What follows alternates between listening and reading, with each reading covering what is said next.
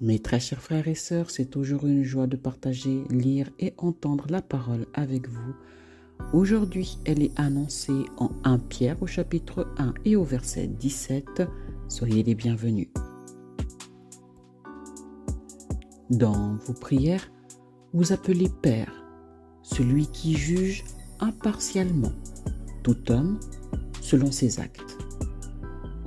Par conséquent, pendant tout le temps de votre séjour en ce monde, que la crainte de Dieu inspire votre conduite. Version Bible du Semeur.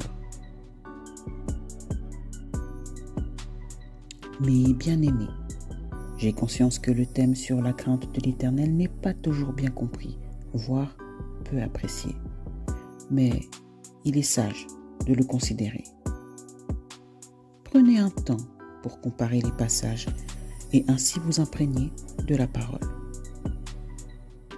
Je crois sincèrement que ce verset peut aider quelqu'un, alors pensez à partager la vidéo. Recevez la paix de notre puissant Sauveur et Seigneur et soyez merveilleusement bénis dans le nom de Jésus.